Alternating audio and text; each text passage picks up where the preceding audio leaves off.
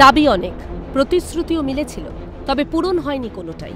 বৃহস্পতিবার কার্যত ক্ষোভে পেটে পড়লেন মাহার সম্প্রদায়ের মানুষজন। প্রতিশ্রুতি উনি দিয়েছেন, সেই প্রতিশ্রুতি আমরা আশা রাখব, সেই প্রতিশ্রুতি মাহার জাতির মানুষের প্রতি উনি দায়বদ্ধ হবেন এবং সেইভাবেই উনি সার্টিফিকেটগুলো দিবেন। যদি দেখা যায় যে উনি সে আগের পদ্ধতি অবলম্বন করে সার্টিফিকেট সার্টিফিকেট বন্ধ করছেন এবং মাহার জনজাতির মানুষদের বঞ্চনা করছেন, তাহলে আগামী দিনে আমরা আরও বৃহত্তর আন্দোলন আন্দোলন আমরা করব।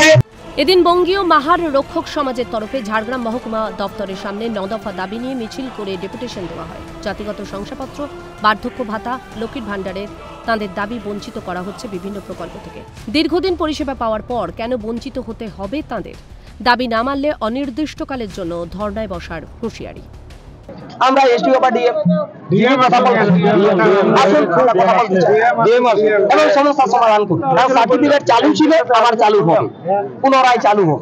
এটা তো নতুন আমরা দাবি করছি। ঝাড়গ্রাম ডিস্ট্রিক্টে আমরা প্রচুর পরিমাণে মাহার সম্প্রদায়ের মানুষ আছে। আমরাকে এখন সার্টিফিকেট থেকে বঞ্চিত করা হচ্ছে।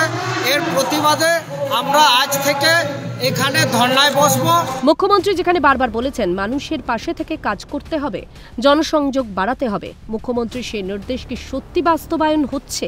সত্যি কি সকল স্তরের মানুষের পাশে থেকে কাজ করছেন? প্রশ্নটা যেন থেকেই যাচ্ছে। ঝাড়গ্রাম থেকে দেবেন তিওয়ারি রিপোর্ট, ক্যালকাটা নিউজ।